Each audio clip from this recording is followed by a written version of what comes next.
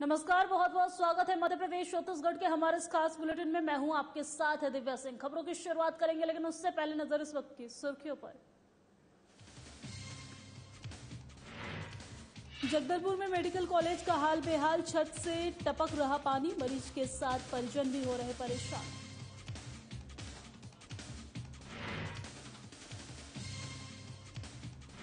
जगदलपुर में cycle rally का आयोजन, निर्वाचक नामावली का विशेष संक्षिप्त पुनरीक्षण की जागरूकता के लिए यह आयोजन शहीद पार्क में दलपत सागर तक निकाली रैली। बिलासपुर में सीएमडी कॉलेज में फ्रेशर पार्टी का आयोजन छात्र छात्राओं ने दी रंगारंग प्रस्तुति। मौके पर मौजूद रहे तीन हज़ार से ज़्यादा छात्र छात्राएँ जांजगीर चांपा में आबकारी विभाग की लापरवाही आई। सामने शराब की बोतल में निकाला मरा हुआ सांप और इलाके में फैली सनसनी और जांजगीर चापा में भतीजे ने चाचा पर धारदार हथियार से किया हमला। हमला करके हुआ मौके से फरार। पुलिस ने आरोपी को किया गिरफ़्तार।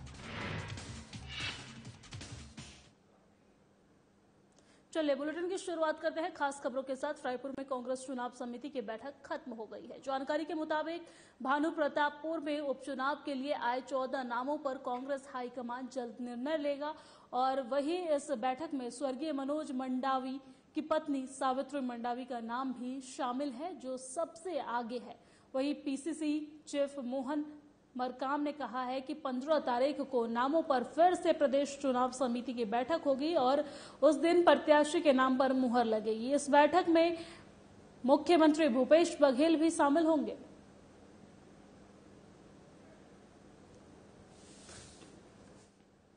खबर आपको रायपुर से बता रहे हैं, जहाँ उपचुनाव के लिए 14 नाम सामने आए हैं और कांग्रेस चुनाव समिति की बैठक जो है वो अब खत्म हो गई है और इस बैठक में मुख्यमंत्री भूपेश बघेल भी शामिल हुए हैं। आप तस्वीर में देख सकते हैं कि बैठक में खुद मुख्यमंत्री भूपेश बघेल शामिल हुए हैं और रायपुर में कांग्रेस चुनाव समिति की बैठक जो है वो अब खत्म हो गई है।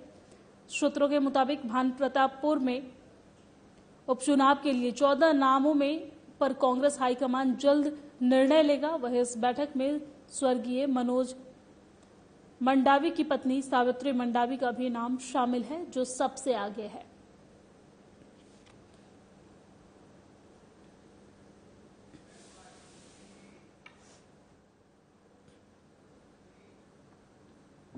और रायपुर में मुख्यमंत्री भूपेश बघेल ने भानु प्रतापपुर पर उपचुनाव की बैठक को लेकर प्रेस कॉन्फ्रेंस की है। वह इस बैठक के बाद मुख्यमंत्री भूपेश बघेल ने कहा है कि मैंने नागरिक आपूर्ति निगम और चिटफंड घोटाले की जाँच की मांग की है और इसके लिए उन्होंने प्रवर्तन निदेशालय यानी कि ईडी को दो पत्र भी लिखे हैं। इसके साथ ही उन्होंने कहा है कि मैंने प्रवर्तन निदेशालय को पत्र लिखकर छत्तीसगढ़ में वर्ष 2004 से 2015 के बीच हुए नान घोटाले की जाँच किए जाने की मांग की है। सीएम बघेल ने कहा है कि अगर 15 दिनों के अंदर ईडी जाँच में कोई कार्रवाई नहीं करती है तो न्यायालय में याचिका दायर की जाएगी।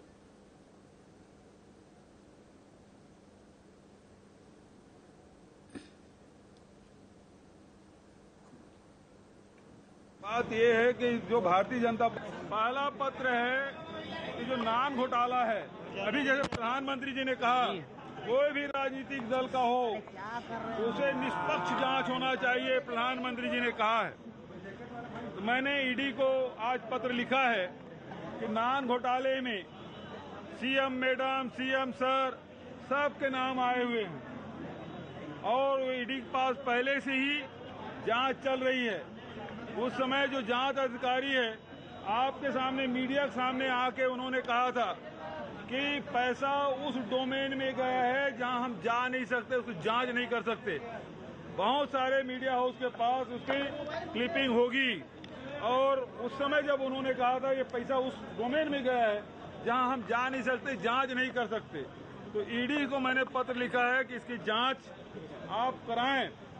दूसरी बात यह है कि जो चीट फंड कंपनी है, जिसमें रोज़गार मेला आयोजित किया गया था, और उसके माध्यम से बहुत सारे जो निवेशक हैं, उसको एजेंट के नियुक्ति पत्र दिया गया था, जो सत्ताधारी और संवैधानिक पदों में बैठे थे, उनके द्वारा वितरित किया गया था, और लगभग साढ़े छह हज़ार करोड़ का ये घोटाला है।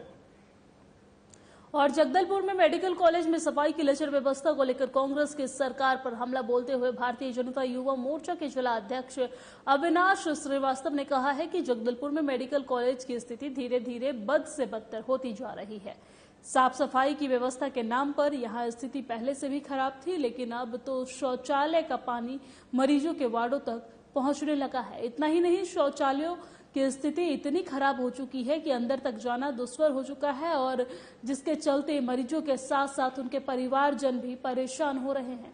वही अविनाश श्रीवास्तव ने कहा है कि यदि सभी खराब व्यवस्था जल्द से जल्द ठीक नहीं की जाती है तो भारतीय युवा मोर्चा कांग्रेस सरकार और प्रबंधन के खिलाफ उग्र आंदोलन करने को बाध्य होगा।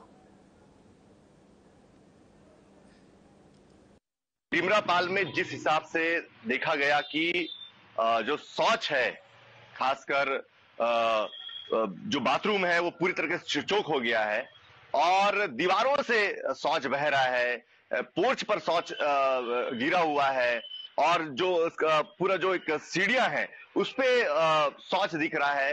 भारतीय जनता पार्टी ने डीमरापाल के रूप में एक जनता को बहुत बड़ी स्वागत दी थी स्वास्थ्य के रूप में, जब से छत्तीसगढ़ में कांग्रेस की सरकार आई है। स्वर्गीय बलराम कश्यप जी की जो स्मृति में जो अस्पताल और चिकित्सा महाविद्यालय बनाया गया है। कांग्रेस ने उसका रख रखाव पूरी तरीके से छोड़ दिया है। आज जनता बाहर शौच करने को मजबूर हो चुकी है, जिस प्रकार से अव्यवस्था है, जिस प्रकार से वहाँ पर गंदी, गंदगी फैली हुई है इसे साफ़ प्रतीत होता है कि सरकार स्वास्थ्य की दृष्टि से पूरी इनकी जो व्यवस्था है, वो पूरी लचर है। पूरी व्यवस्था वेंटिलेटर पे है। ये बहुत ही चिंतनीय विषय है। और अब खबर जगदलपुर से है, जहाँ निर्वाचक नामावली का विशेष संक्षिप्त पुनरीक्षक की जागरूकता हेतु जगदलपुर में साइकिल रैली का आयोजन किया गया है। ये रैली जगदलपुर के स्थानीय शहीद पार्क से दलपत सागर तक निकाली गई है। मतदाता सूची के प्रारंभिक प्रकाशन के अवसर पर मतदाताओं में जागरूकता लाने के लिए यह आयोजन किया गया है। पैडल फॉर, प्रैक्ट पार्टिसिपेट इलेक्शन की थीम पर यह साइकिल रैली का आयोजन किया गया है। जिला निर्वाचन अधिकारी चंदन कुमार ने बताया है कि निर्वाचन नामावली का विशेष संक्षिप्त पुनरीक्षण 9 नवंबर से 8 दिसंबर के दौरान सभी मतदान केंद्रों में बीएलओ और अभिहित अधिकारी नियमित रूप से बैठकर निर्वाचक नामावली के नए मतदाता का नाम जोड़ने, काटने और सुधार करने का कार्य करेंगे और निर्वाचन अधिकारी के ने बताया है कि भारत निर्वाचन आयोग के निर्देशानुसार मतदाताओं से आधार नंबर प्राप्त कर मतदाता सूची में लिंक करने लिंक करने का कार्य किया जाएगा।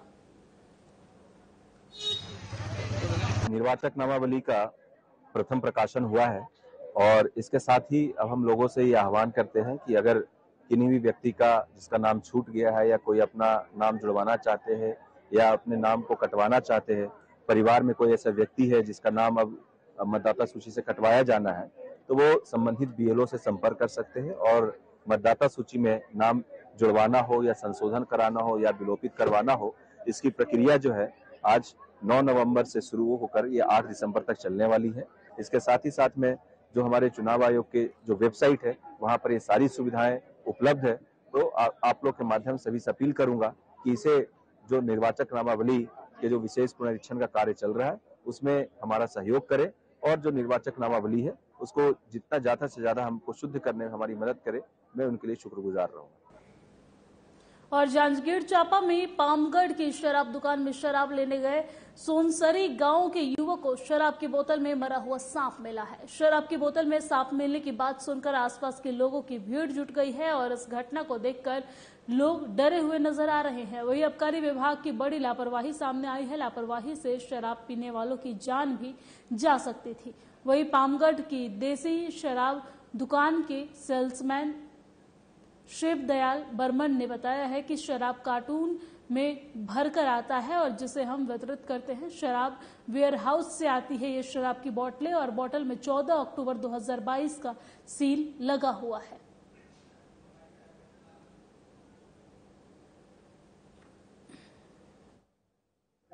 क्या क्या नाम है आपका?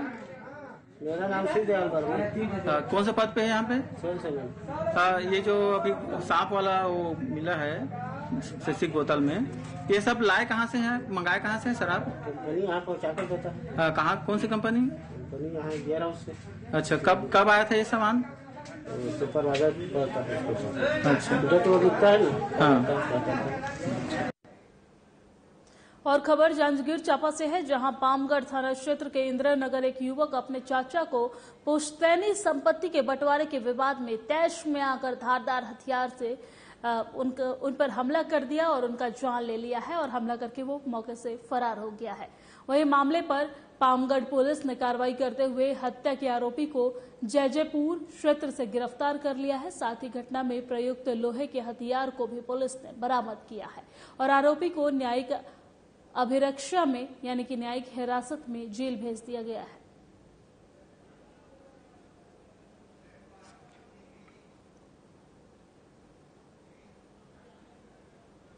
और भारत जोड़ो यात्रा आज मालनपुर पहुँची है और वही ग्वालियर सीमा पर भारत जोड़ो यात्रा पहुँचते ही ग्वालियर पुलिस की अनदेखी के कारण एक युवक कट्टे से फरार करने का कट्टे को फरार करने का प्रयास कर रहा था। वही कांग्रेस के कार्यकर्ता ने कट्टा छुड़ाने का प्रयास किया, जिसमें एक व्यक्ति घायल हो गया है। वही इस घटना की सूचना नेता प्रतिपक्ष डॉक्टर गोविंद सिंह ने ग्वालियर पुलिस को दी है। वही कांग्रेस कार्यकर्ताओं ने इस घटना को पुलिस की लापरवाही और अनदेखी बताते हुए थाने का घेराव किया है और ऐसे असामाजिक तत्वों को गिरफ़्तार करने की मांग की है।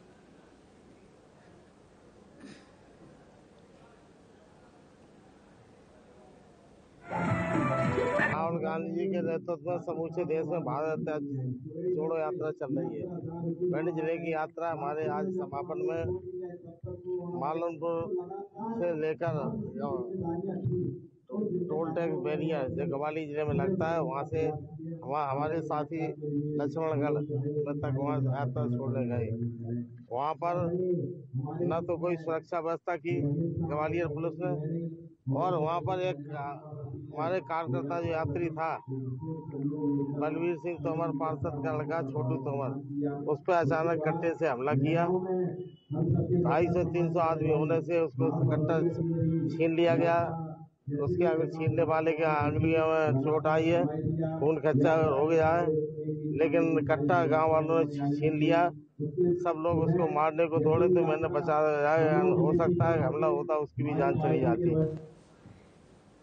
और सोमवार को भारतीय अखिल विद्यार्थी परिषद के विद्यार्थियों ने मूलभूत समस्याओं को लेकर कलेक्टर को ज्ञापन सौंपा है, जिसमें विद्यार्थी परिषद जिला संयोजक हरिओम गोस्वामी ने बताया है कि विद्यार्थी परिषद विश्व का सबसे बड़ा छात्र संगठन हेतु की लड़ाई, लड़ता आ रहा है और फिर भी विद्यार्थियों को कई परेशानियों का सामना करना पड़ता है। उन्होंने विद्यार्थियों की मांग को बताते हुए कहा है कि विद्यार्थी परिषद की सबसे पहली और महत्वपूर्ण मांग ये है कि आइडेंटिटी कार्ड बताने के बाद विद्यार्थी का किराया आधा लिया जाए, उनको टिकट भी प्राप्त कराई जाए। और दूसरी मांग ये है कि प्राइवेट बस और स्कूल बस में सीसीटीवी कैमरे की जाए। और इसी तरह के कई समस्याओं को लेकर एबीवीपी ने ज्ञापन सौंप कर जल्द समस्याओं के समाधान की मांग की है। अगर तीन दिन के अंदर विद्यार्थी परिषद की मांग नहीं मानी जाती है तो विद्यार्थी परिषद उग्र आंदोलन को बाध्य होंगी। वही जिसकी समस्त ज़िम्मेदारी शासन और प्रशासन की होगी।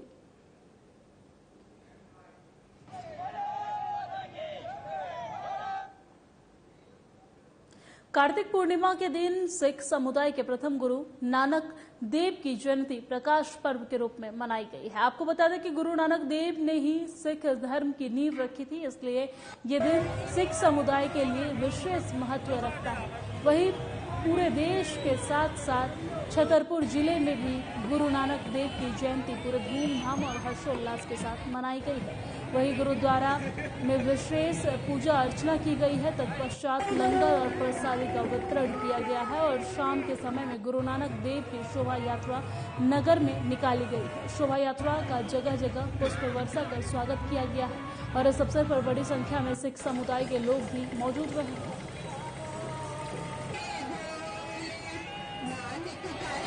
जयंती का जन्म दिवस मनाया जा रहा है और पाँच सौ तिरपनवा जन्म दिवस है। गुरु नानक देव जी महाराज ने कर्मकांड का बिल्कुल विरोध किया। कि कर्मकांड नहीं मानना। आज ग्रहण होने के बावजूद भी हमारा नगर कीर्तन निकला और शोभा यात्रा निकली गुरु नानक देव जी महाराज ने कहा जेकर सूतक मनिया सबसे सूतक होए लोहे अत्ते लकड़ी अंदर कीड़ा होए जेते दाने अन्न के जिया बाजना कोए पहला पानी जीव है जित हरिया सब कोए और काला पीपल सिखों के पहले गुरु नानक देव के प्रकाश पर्व के पर्व पर गुरु सिंह सभा द्वारा प्रभात फेरी निकाली गई है। प्रभात फेरी का कर्मचारी कॉलोनी के से पंचमुखी चौराहे होते हुए वापस गुरुद्वारे पर समापन हुआ है। गुरुद्वारे पर निशान साहेब की सेवा भी की गई है और उसके बाद सुबह 11 बजे से कीर्तन अरदास के बाद गुरु का अटूट लंगर का कार्यक्रम हुआ है वह इस कार्यक्रम में महिलाएँ और बच्चों ने बढ़ चढ़कर हिस्सा लिया है और नगरवासियों ने लंगर का प्रसाद ग्रहण किया है।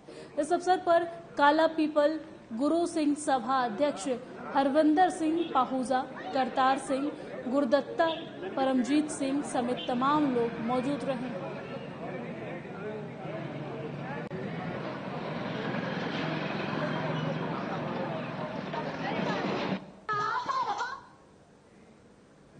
और कांग्रेस पार्टी के पूर्व राष्ट्रीय अध्यक्ष और वर्किंग कमेटी के सदस्य राहुल गांधी की भारत जोड़ो यात्रा के समर्थन में सिंगरौली से सीधा होते हुए उप यात्रा कुल आठ नवंबर को रीवा ज़िले की सीमा पर पहुँची है, जिसका गुड़ विधानसभा अंतर्गत बदवार सोलर प्लॉट के पास किसान कांग्रेस के जिला अध्यक्ष निपेंद्र सिंह पिंटू द्वारा उनके साथियों और पदाधिकारियों के साथ स्वागत किया गया है।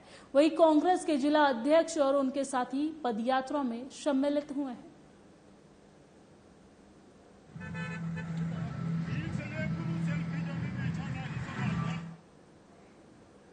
और बिलासपुर की पाश कॉलोनी विनोबा नगर और सेवन गली में स्वर्गीय देव नारायण सिंह ठाकुर के मकान के साइड में और सतीश अग्रवाल के मकान के साइड में प्रोफेसर दोरबा चटर्जी ने नगर निगम की रोड पर कब्जा करने और मकान बना लिया है। कब्जा करके वो मकान बना लिया है, जबकि सिविल कोर्ट बिलासपुर ने 4 मार्च उन्नीस सौ तिरानवे को अपने निर्णय में कब्जा को न हटाने संबंधी दुर्वा चटर्जी की याचिका को खारिज करते हुए कब्जे को अवैध बताते हुए नगर निगम के कब्जा हटाने संबंधित नोटिस को सही ठहराया था। नगर निगम ने कब्जा हटाने का आदेश दिया था। कब्जा होने से कॉलोनी वासियों को परेशानी होती है और जब कॉलोनी वासी पार्किंग और अवैध कब्जे की शिकायत करते हैं तो दुर्वा चटर्जी और अनूप चटर्जी सरकारी कर्मचारी होते हुए भी दबंगई दिखाते हैं। बिलासपुर में गुंडों द्वारा कब्जा करने की घटनाएँ आम बात है, लेकिन अब सरकारी कर्मचारी भी इस राह पर चले तो ये अशोभनीय है।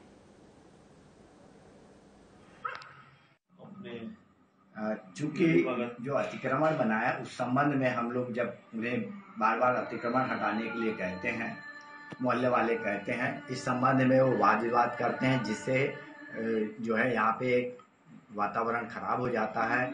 और आए दिन इस तरह की होता है। इसलिए इस अतिक्रमण को हटाना नितांत आवश्यक है और चूँकि मामला जो है, कोर्ट से भी हो गया है और नगर निगम को उसको अपने पोजीशन में लेना चाहिए क्योंकि एसडीओ महोदय ने और उसने कर दिया है तो ऐसी अवस्था में शीघ्र कार्यवाही करते हुए उसको अतिक्रमण को हटाया जाना उचित होगा। अभी आपने नगर निगम में कब शिकायत की थी? हमने 2015 में जो है हमने और सतीश अग्रवाल के परिवार से जो है उसको संयुक्त रूप से शिकायत किया था। उनको निर्माण कार्य में बार बार बाधा कर कोई भी कार्य में बाधा करते रहते हैं। और बिलासपुर में तकतपुर अधिक संख्या में किसान कलेक्टर ऑफ़िस पहुँचे हैं और अपनी शिकायत को लेकर कलेक्टर ऑफ़िस में उन्होंने बताया है कि उनका रकबा छह सौ सड़सठ जो पोर्टल में प्रतीत नहीं हो रहा है इसका लाभ समर्थन मूल्य किसानों को नहीं मिल पाएगा। ऐसे में 80 किसानों ने एक साथ 80 किसानों के साथ हुआ है और जिसकी शिकायत को लेकर किसानों ने जिलाधिकारी को ज्ञापन सौंपा है और जल्द से जल्द कार्रवाई करने की मांग भी की है। पूरी धाम सभा तखतपुर तहसील से हम लोग यहाँ किसानों के साथ में आए हैं और जिस तरह से ग्राम ठाकुर कापा तहसील तखतपुर और जो उनका पूरे गाँव का जो रकबा है, वो फरल पोटल में नहीं आ रहा है, वहाँ का जो किसानों का जो रकबा है, वो ज़ीरो बता बता रहा है। ऐसे परिस्थिति में गाँव में दहशत व्याप्त था और इसी बीच मैं जिला पंचायत सदस्य होने के नाते उस गाँव का दौरा किया। वहाँ बताया कि हम मेहनत किए हैं, लेकिन जुड़वाने में अधिकारी रुचि नहीं ले रहे हैं और इस कारण हम खरीदी से वंचित हो जाएँगे। मैं तत्काल निर्णय लेते हुए गाँव वासियों को, किसानों से आग्रह किया कि हम एक ज्ञापन जिलाधीश महोदय को सौंपेंगे और इसमें हम चाहेंगे कि जिस प्रकार छत्तीसगढ़ सरकार की नीतियों के कारण हमारे किसानों का जो रकबा कट रहा है, ये कभी भी बर्दाश्त नहीं किया जाएगा। मैं उग्र आंदोलन के लिए तैयार रहूँगा, क्योंकि इस तरह की जो, अगर हमारा खेत, हम बो रहे हैं जिस खेत में और उसका धान नहीं बेच पाए तो ये इससे दुर्भाग्य कुछ बात नहीं हो सकता और इसलिए पूरे गाँव के लोग और किसानों के साथ हम लोग आए हैं। मैं और कलेक्टर महोदय से भी आग्रह करूँगा कि इस तरह की जो समस्याएँ हैं, उनको त्वरित निराकरण करें, अन्यथा किसान और आगे की कार्रवाई के लिए और स्वतंत्र रहेंगे। जितना भी ज़मीन है तेमा के सब जन के पूरा ज़मीन है, पूरा कट गए, पूरा ज़ीरो बताते एक बार हमन पटवारी तहसील तक के गए हन, पर आज तक के कोई सुनवाई नहीं हो कर। तो यही हम चाहत हन के तत्काल जुड़े तब हम धान बेच पाबो सब कर्जा लिए लिए बैठे हैं। और कर्जा ला फिर इसमें कहाँ दे सकबो? हल्का नंबर चौतीस। और हमार ठाकुर कापा के तहसील सक्रिय और पटवारी हल्का नंबर चौतीस। और अब खबर डोंगरगांव से है जहाँ चमार चमार राय टोला गाँव स्थित प्राथमिक शाला भवन में स्कूल का भूमि पूजन कार्यक्रम था। वही भूमि पूजन कार्यक्रम में विधायक को पहुँचना था। वही गौरी शंकर साहू ने बताया है कि सरपंच और ग्रामवासी इंतज़ार करते रहे, लेकिन क्षेत्रीय विधायक दलेश्वर साहू भूमि पूजन कार्यक्रम में नहीं पहुँचे हैं। जिसके बाद सरपंच ज्योति साहू ने स्कूल भवन का भूमि पूजन किया। वही ग्राम पंचायत सरपंच और ग्रामीणों का कहना है कि दो दिन पहले ग्राम करगी में सामाजिक कार्यक्रम में भी विधायक दलेश्वर साहू नहीं पहुँचे और इसी कारण से ग्रामीण काफ़ी आक्रोशित हैं।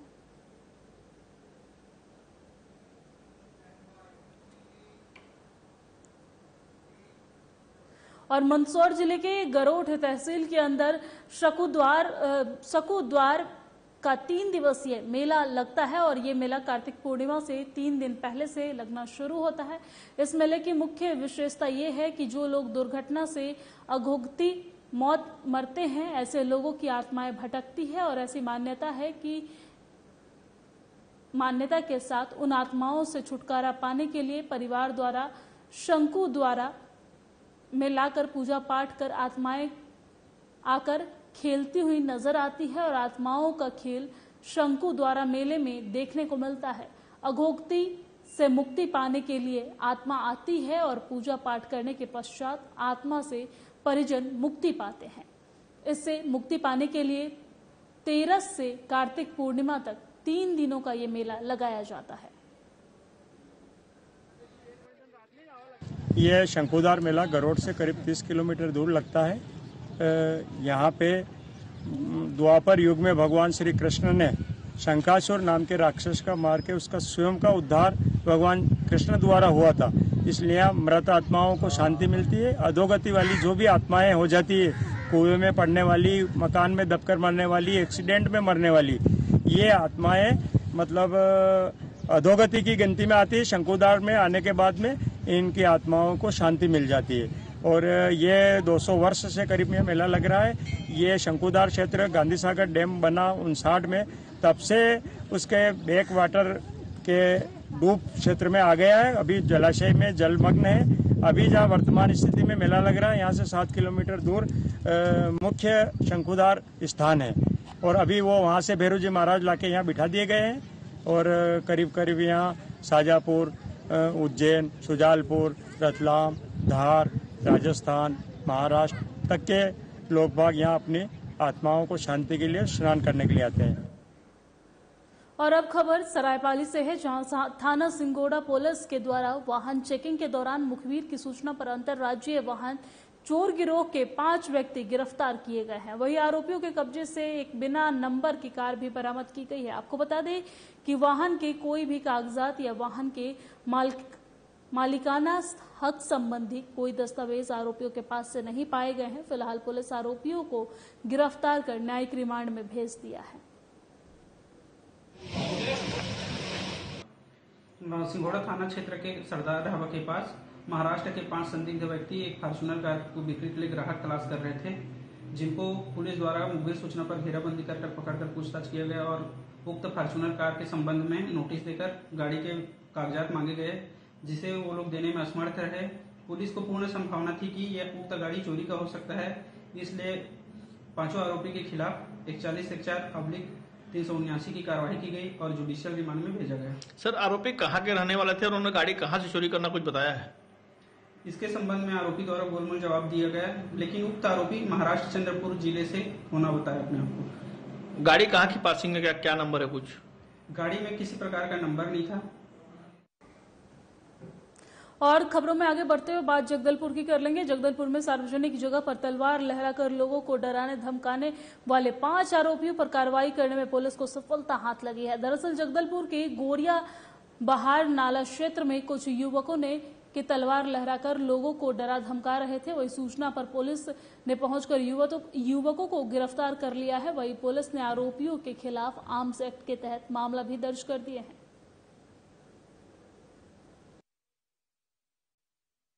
कुछ व्यक्तियों के द्वारा गोरिया बहार नाला क्षेत्र में धार धारदार तलवार लहराकर लोगों को भयक्रांत करने की जानकारी जो है प्राप्त हुई थी।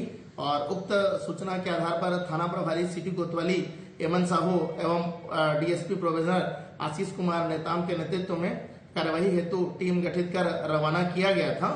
और उक्त टीम के द्वारा जो है इस मामले में पाँच संदेहियों को जो है घेराबंदी कर पकड़ा गया है।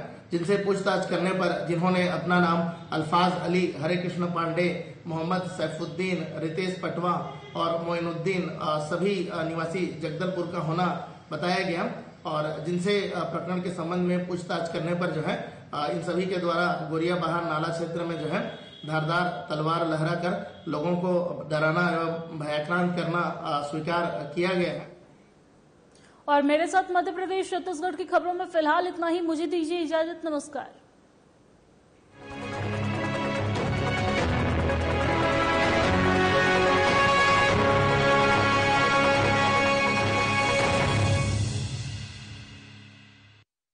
हिमाचल का रिवाज जारी है, फिर से कांग्रेस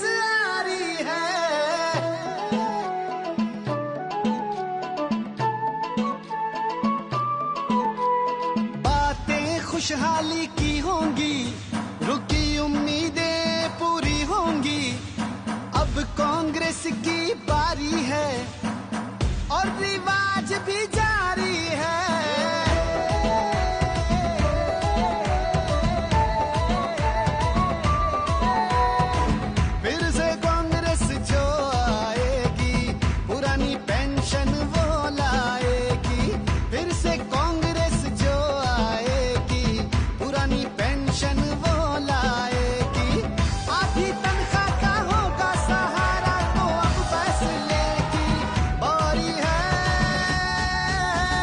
परेशान हर कर्मचारी है। हिमाचल का रिवाज जारी है, फिर से कांग्रेस आ रही है।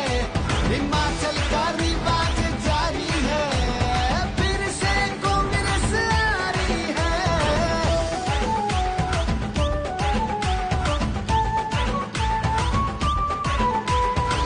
पंद्रह सौ हर माह मिलेंगे, घर के खर्चे चल निकलेंगे।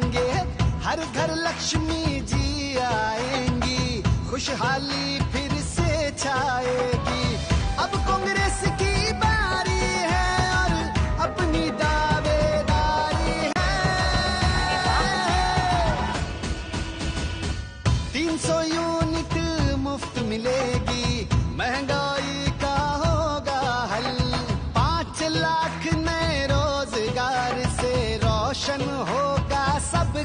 सबका कल अपनी ज़िम्मेदारी है और फैसले की बारी है। स्टार्टअप के लिए फंड मिलेंगे, सबके सपने